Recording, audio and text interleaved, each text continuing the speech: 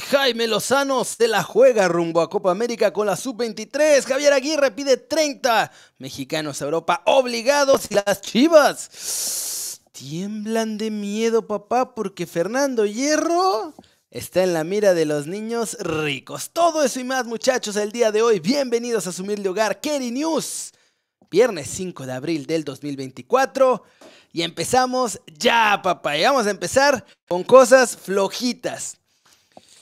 Santiago Jiménez, que junto con el Feyenoord quedaron a deber. Y en esta ocasión, aunque normalmente me la paso defendiendo a Santi Jiménez, hay que decirlo, Santiago Jiménez fue probablemente una de las razones por las que ayer el Feyenoord no le pudo ganar al Volendam, el peor equipo de la Eredivisie pero las fallas de Santi Jiménez fueron las que sentenciaron a un Feyenoord que tenía la oportunidad de seguirse acercando al PSB después de que el cuadro granjero había perdido su primer partido en la temporada. La distancia estaba a 7 puntos. Si ganaban este encuentro se ponían a 4 y metían más presión.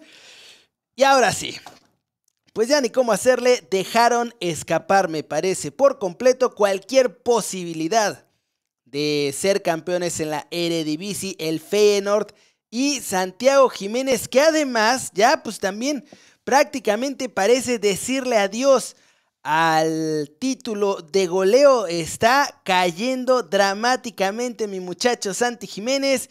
Ya no está ni siquiera en el top 5. Sí, está en el top 3, pero 24 goles de Evangelis Pavlidis, 22 de Luke de Jong y Santi sigue ahí atorado en los 21 golecitos. Se ve complicado porque además Pavlidis, pues eso, lleva 3 goles de ventaja y no parece dejar de anotar ese muchacho. Así que veremos, ojalá que vuelva a agarrar confianza, que se afiance totalmente Santiago Jiménez. El Feyenoord sigue con un título pues en sus manos porque están en la final de la Copa de los Países Bajos frente al NEC. Así que bueno, esto más que reflejo de Santi, me parece que también es reflejo en general del Feyenoord que no ha estado jugando bien la segunda mitad de la temporada, aunque en el partido de ayer, pues sí, Santi fue el que tuvo sus regadas, muchachos. Hay que decirlo con todas sus letras. Javier Tebas habló con el Bambam Zamorano en tu DN y hablaron sobre la Liga MX y nos vino a vender espejitos. El señor Javier Tebas, hablando con el Bambam Zamorano, le dijo que la Liga Mexicana está haciendo todo, está haciendo una revolución perfecta, ideal, nombre. Estrellita hasta en la frente les quiso poner a la Liga MX y dice que si siguen haciendo todo esto, puede estar perfectamente entre las cinco mejores ligas del mundo. Y no me lo van a creer, pero Javier Tebas me hace tener, estar de acuerdo con David Feitelson. Nos está vendiendo espejitos Tebas, quedando bien. Esa es una declaración que da bien. Chequen. La mejor liga del mundo, la Premier League. La segunda mejor liga del mundo, la Liga de España. Tercera, Italia. Cuarta, Alemania. Quinta, la Eredivisie. Sexta, la Liga de Francia. ¿Ustedes creen que la Liga MX puede estar al nivel o arriba de la Liga Francesa o de la Liga de los Países Bajos? En cuanto a dinero, quizás sí. En cuanto a nivel y facilidad de llevarse unos jugadores de aquí para allá y de allá para acá, la neta es que estamos muy lejos.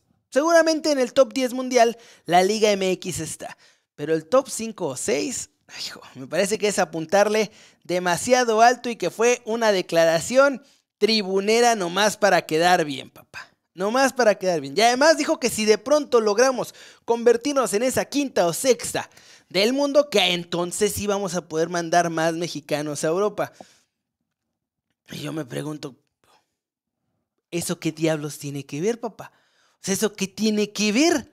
Argentina no está entre las 10 mejor, entre las 5 mejores del mundo y se la pasan mandando argentinos. Brasil lo mismo, Uruguay lo mismo. Es más, Ecuador ahora está mandando a todo el mundo a Europa también. No tiene nada que ver una cosa con la otra, pero Javier Tebas pensó que si revolvía la sopa con los taquitos y todo lo hacía ahí un menjurje, podía de pronto vendernos un platillo nuevo súper impactante y novedoso para nosotros. Y la verdad es que lo único que estaba haciendo es vendernos espejitos. No tiene nada que ver una cosa con la otra. Y la neta es que no está bueno lo que dice Javier Tebas, muchachos.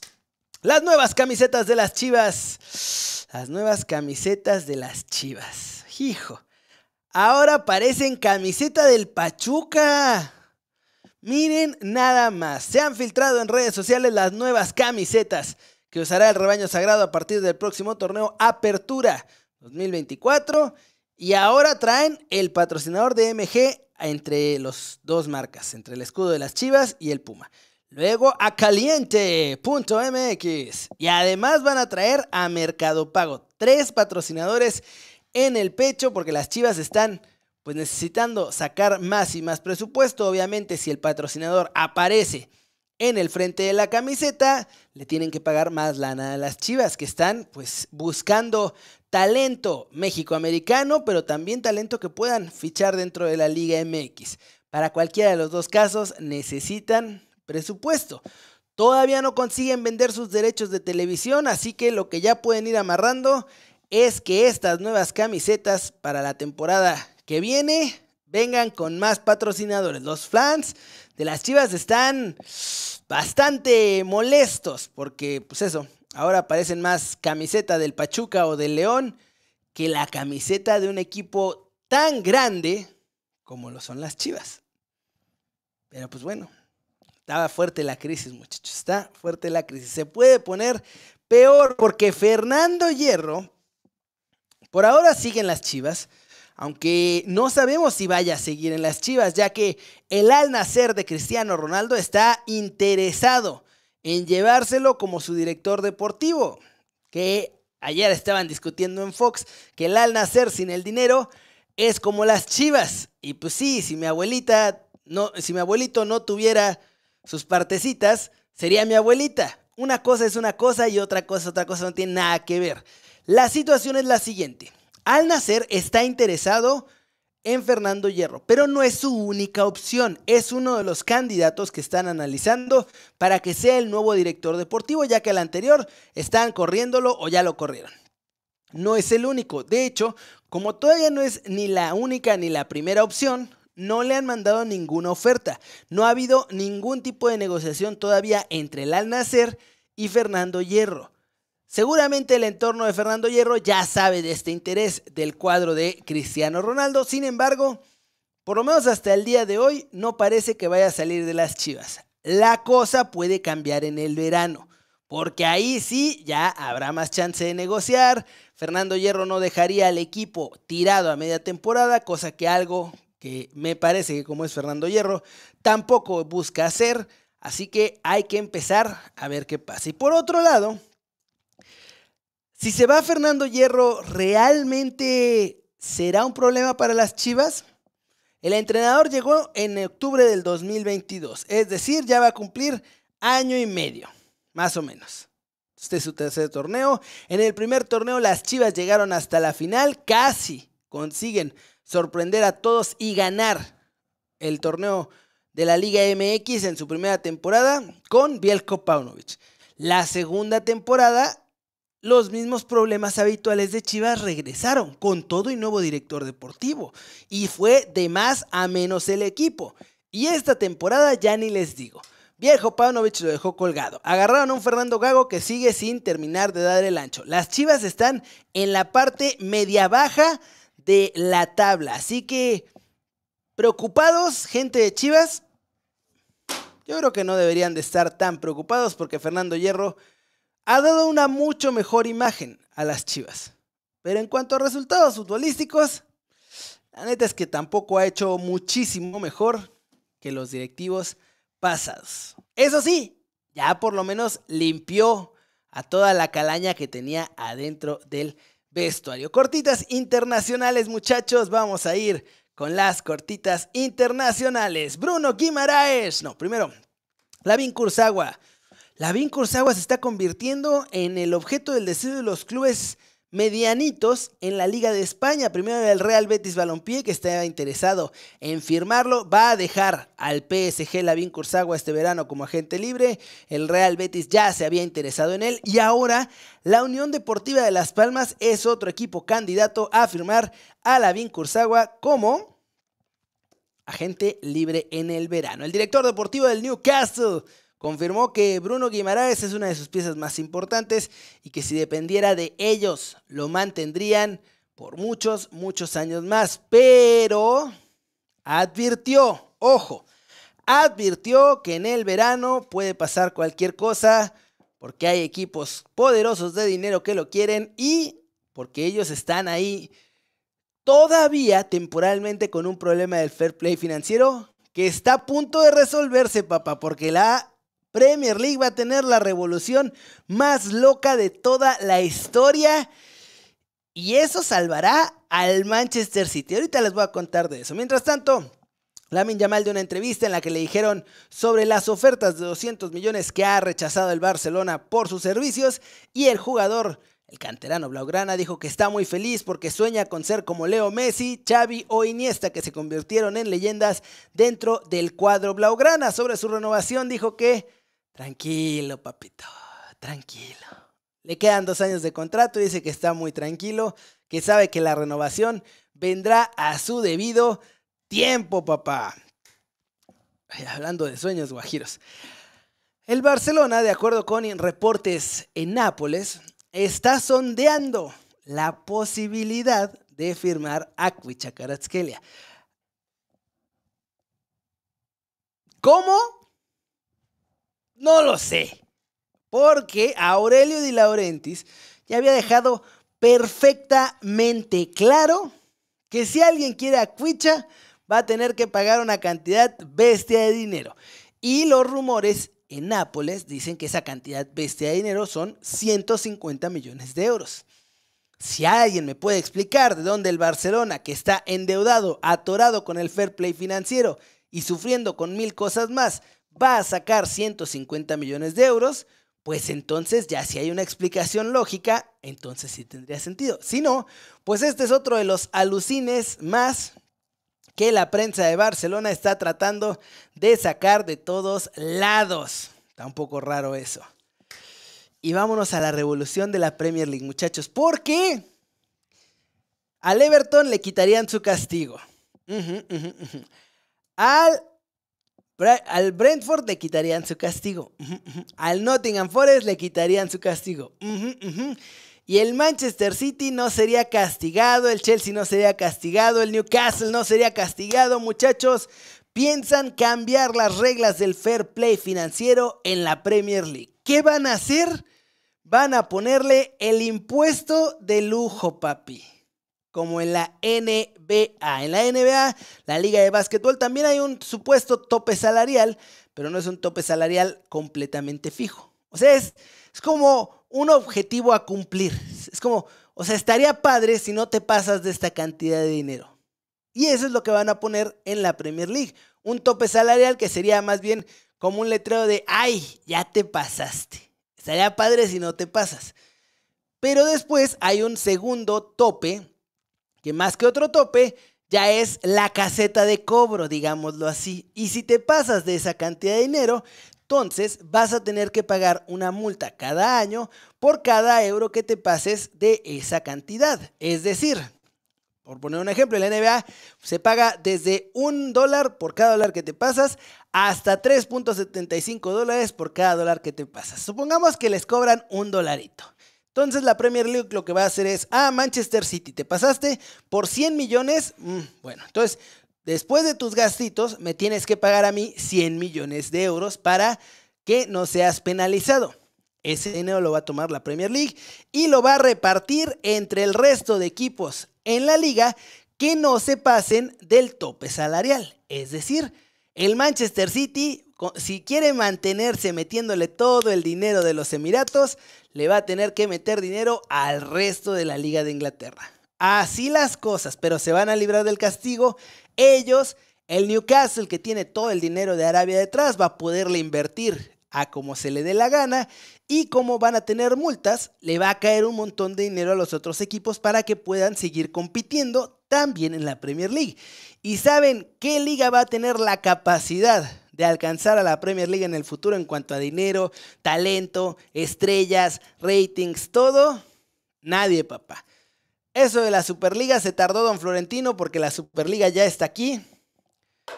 Y se llama la Premier League, papá. Está loquísimo. Javier Aguirre habló en David Firestone sin censura y dijo que ya estuvo, cabrón. Ya estuvo, mano.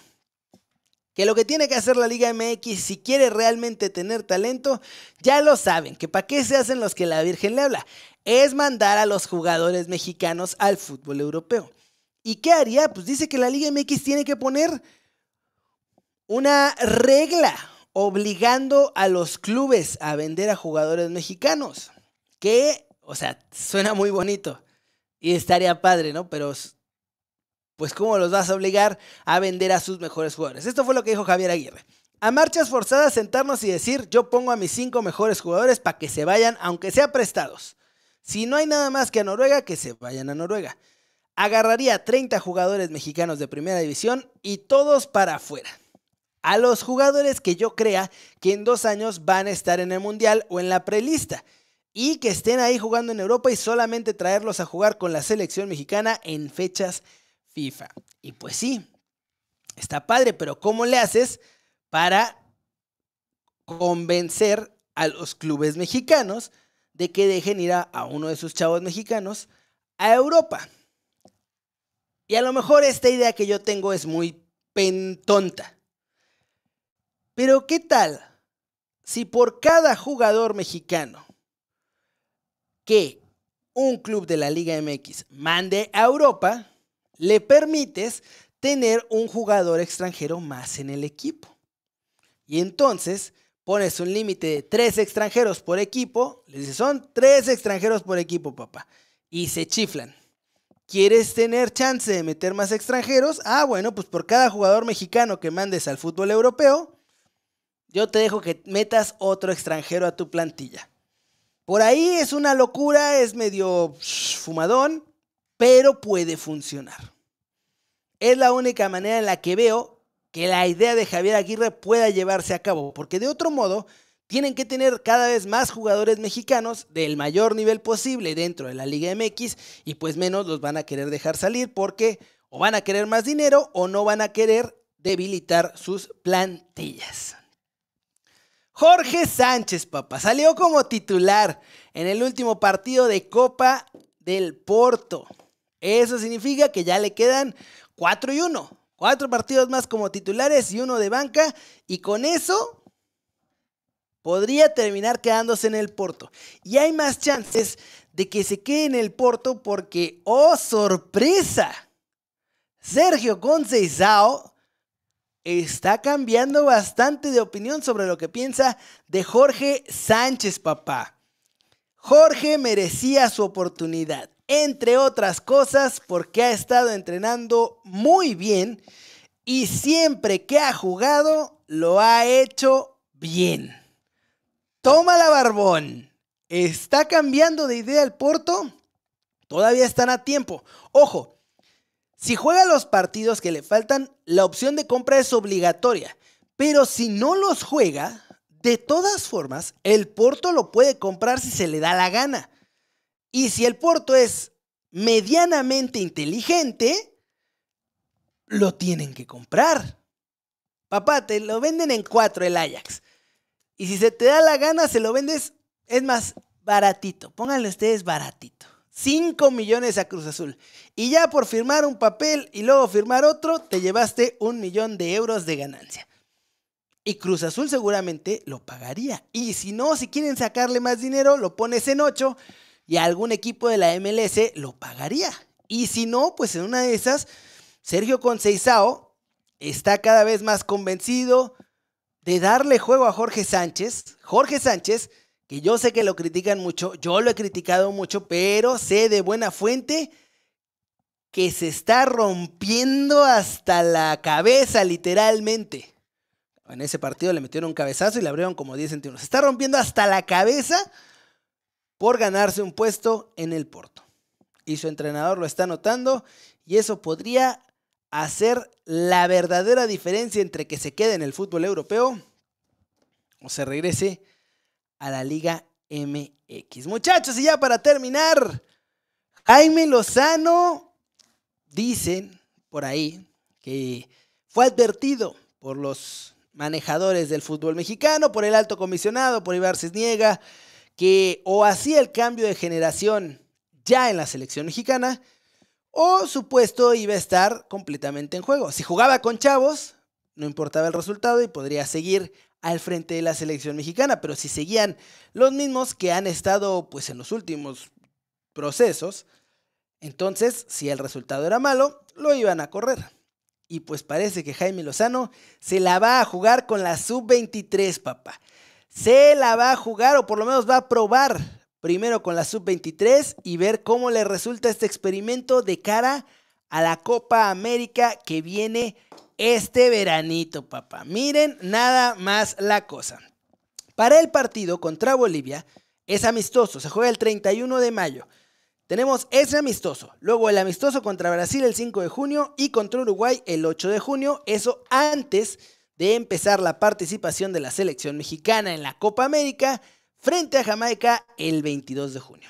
Bueno, para el partido del 31 de mayo, frente a Bolivia, Jaime Lozano está analizando llevar a la selección mexicana, ojo, a un montón de chavitos sub-23, entre los que están Marcelo Flores, Ociel Herrera, Omar Campos, Diego Medina, Rodrigo López, Brian González, la joya del Mazatlán Andrés Montaño, Rodrigo Huescas, Alan Batista y Jordan Carrillo. Y además no serían los únicos nombres porque podría terminar yendo con muchos más jugadores de la selección sub-23, incluido el portero Fernando Tapia, para que vaya ya a empezar a agarrar experiencia de selección mexicana. Ahí se lo va a tener que, pues, rifar cada uno de estos jugadores si quieren mantenerse en las convocatorias de Jaime Lozano, tanto para los Juegos del 5 y 8 de junio, como para ganar un lugar en la lista final de cara a la Copa América del 2024. Pero ya ahora sí va a probar, ya no va a llevar a los mismos de siempre, por lo menos al primer amistoso va a probar con estos jugadores de la sub-23 y pues dependerá ya de los chavos que se rifen ahí para tener un lugar y poder seguir de cara a la Copa América. Y eso muchachos, es todo por hoy. Gracias por ver el noticiero. Suscríbanse aquí abajo para que formen parte de la Kerry News Gang. Y pues, yo me despido con saludos para toda la banda. Para Gueto, Julio César Peña, El Renosila, Manuel Viveros, Juan Carvajal, Adancillo, Julio César, Víctor Antonio, Alexis Lamas, Alexis Cervantes y los miembros del canal Coachenco, Pepe CTA, Osvaldo Guerrero, Alberto Cabrera, Tiburcio Saavedra, Vincent Morgan, Alfredo Palazuelos. Hoy están un montón de miembros del canal y cinco más.